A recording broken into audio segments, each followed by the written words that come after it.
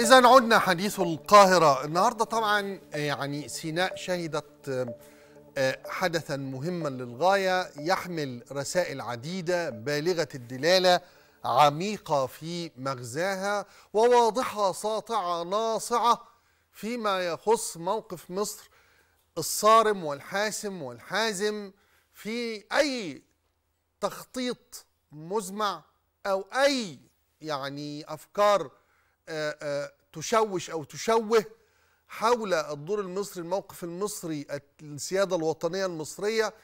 هذا النهار كان نهارا يعني مشرقا ومضيئا ومبهرا في رسالته إلى المصريين قبل أي أحد آخر ثم إلى العالم كله ثم إلى التيار الإسلامي والإخوان المسلمين وهؤلاء الصفات التي يمكن أن نضعها حولهم فيما يخص التشوير والتشويه والتشهير والتشويش على الموقف المصري والأفكار التي مريضة التي يريدون للشعب المصري إنه يبتلعها أو إنه يتعامل معها بعادية أو ببساطة فيما يخص توطين أو نزوح أو ما إلى ذلك من أمور فيها إن مصر هتبيع أرضها يعني. فلما رئيس الوزراء المصري بيروح سينا النهارده ويصل حتى رفح ومعاه قيادات وزارية ووزراء من حكومته وفي نفس الوقت بيستقبلوا قبائل سينا واتحاد القبائل سينا وشعب سينا. وفي نفس الوقت شخصيات كثيرة عامة سياسية وشخصيات عامة تصاحب المشهد كله. ثم مؤتمرات صحفية أمام بوابه رفح ومعبر وميناء رفح البري. بيقف فيها رئيس الوزراء ويقف فيها رئيس هيئة الاستعلامات الكاتب الصحفي الكبير الأستاذ ضياء رشوان ويتحدثوا للعالم كله بمنتهى الوضوح والشفافية. لما بنقول إن إحنا في سينا النهارده بي اللي بيتكلموا عن إن إحنا هنبيعها ل يعني ومقابل ومقابلات يعني واغراءات وضغوط النهارده يعني أهالي سينا وقبائل سينا وهي بتعلن بشكل حاسم و والقول الفصل يعني اللي هو المعنيين بالموضوع رقم واحد أرضهم أرض مصرية أرض الشعب المصري وأرض أهل سيناء نفسهم. وهم بيعلنوا أنه هذه أرض أرض سيناء التي لا يمكن أن يمسها أحد لا يمكن أن ينزعها منهم أحد لا يمكن أن تفتح لأحد حتى كائنا من كان حتى لو الأشقاء والإخوة. لن تتم تصفية القضية الفلسطينية على أرض سيناء ليس باسمنا.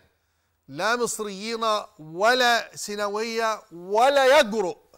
كائن من كان في العالم ضاغطا أو مغريا إنه يقدر يهز الضمير المصري أو يأخذ من مصر تنازلا عن شبر واحد عن حبة رمل واحدة تمنح ملجا أو يعني مسكنا للاجئ.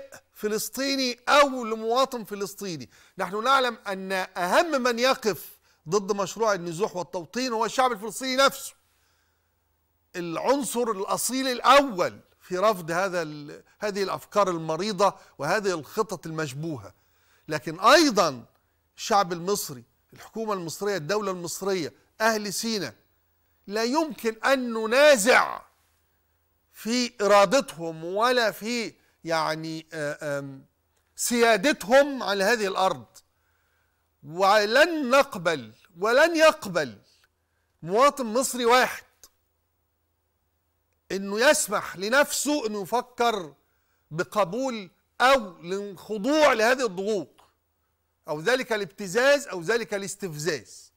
ينشر ما ينشر بقى ويتقال ما يتقال وسيقال كثيرا. يعني بكرة مصر مستعدة لاستقبال جرحى فلسطينيين عشان تدخلهم من المعبر إلى مستشفيات مصر العريش والشيخ زويد. هيتعاملوا يقول شفت؟ بص آه بدأوا. آدي النزوح. مش قلنا كده؟ هي اصلها واحدة واحدة وما بتجيش مرة واحدة كده. وهذا اللغو واللهو سيقال على فكرة. ورغم التأكيد الناس تسأل هو ليه كل شوية المصريين قاعدين يأكدوا كل ليه كل في محفل رئيس الجمهورية بيطلع يأكد؟ ليه في كل موضع وتصريح بيتكلم المسؤولين المصريين طول الوقت عن رفض مشروع التهجير عن رفض مشروع التوطين عن حسم هذا بقوة في الضمير الوطني المصري وفي الإرادة المصرية الرسمية والشعبية.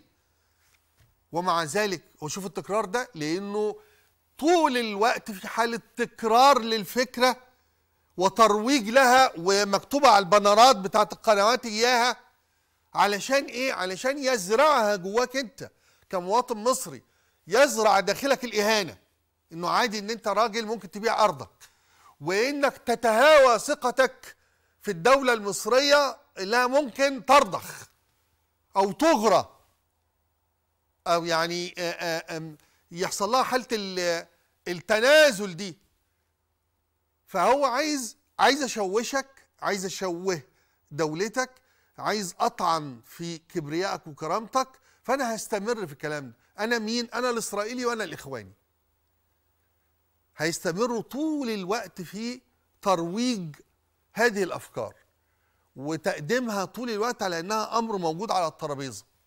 وموضع للتفاوض وموضع للضغوط. أصل المشروع إيه؟ أصل الباحث الفلاني كتب ونشر إيه؟ أصل الموقع العلاني قال إيه؟ أصل الجران الأمريكاني قال إيه؟ أصل اللي مش عارف الجران الإنجليزي قال إيه؟ طول الوقت لازم يبقى معاك عند البنرات دي طول الوقت. وفي التويتات والتغريدات طول الوقت. ليه؟